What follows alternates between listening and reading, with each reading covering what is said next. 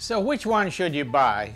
Should you buy the Starrett uh, double square for $80 or should you buy two double squares from iGaging for $32?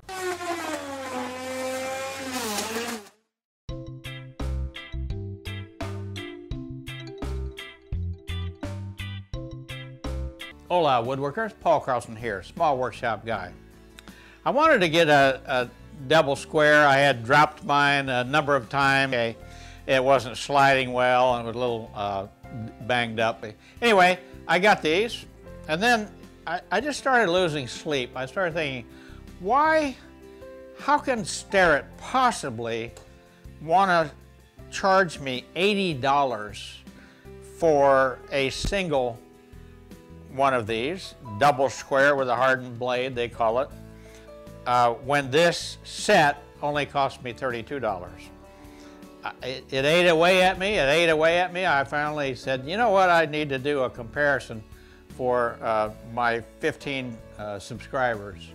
So I went ahead and I bought it. now, before I do the comparison, let me mention that I've got a new Patreon link and I'm looking for still my first handful of pat patrons.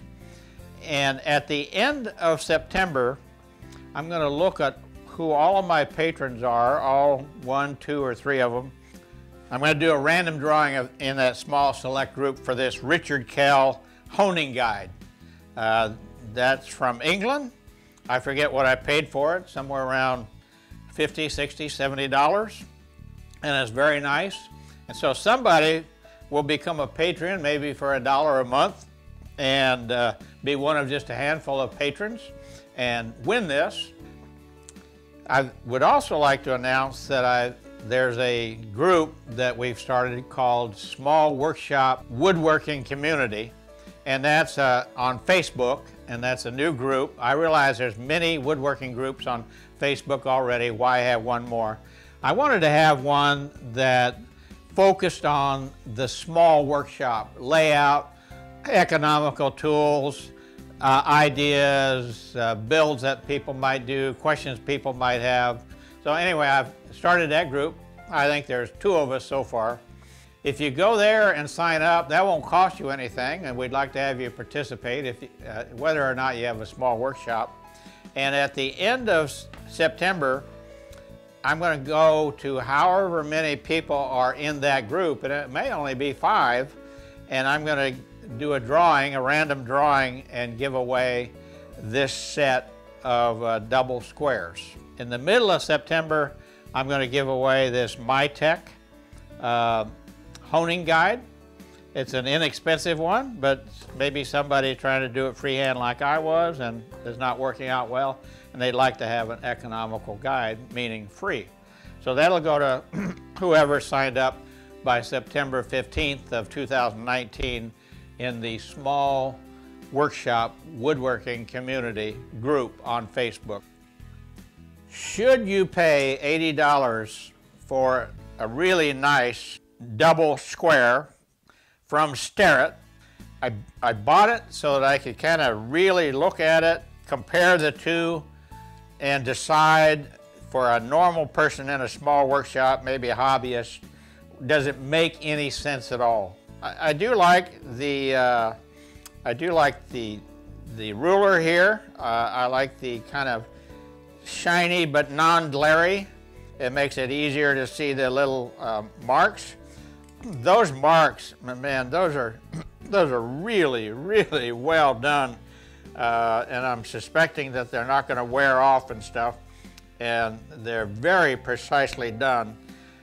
The iGaging one Uh, is good. It's all the same dimensions, 164th, 132nd, 116th, and then 1 8th, and you can set those up to use whichever one you like.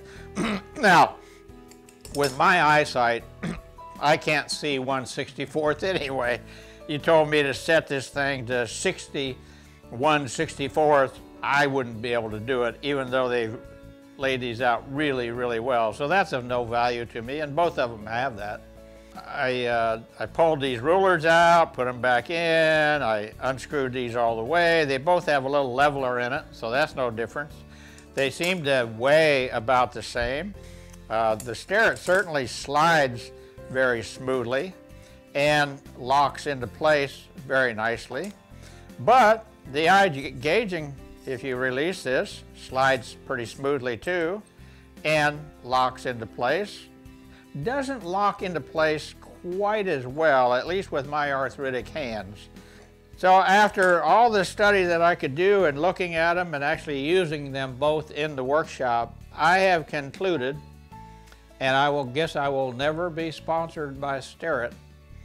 I'm not sure I'll ever be sponsored by anybody, but I have concluded that it definitely is not worth the money to get the Starrett, this one or maybe the bigger combination square, uh, when these less expensive but still high quality alternatives are available.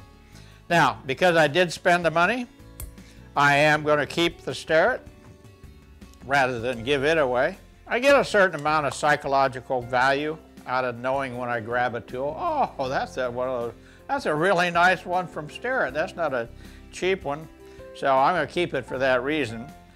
But uh, I'm going to, as I said, I'm going to give this away to on September 30th to uh, somebody randomly that signed up for the Facebook group Small Workshop Woodworking Community. It'll come in a nice little case. That's all I have to say on that subject. Be safe in your workshop. Small Workshop Guy, signing off.